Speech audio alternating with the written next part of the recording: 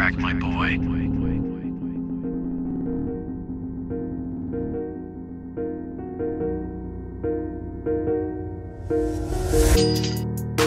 Lost young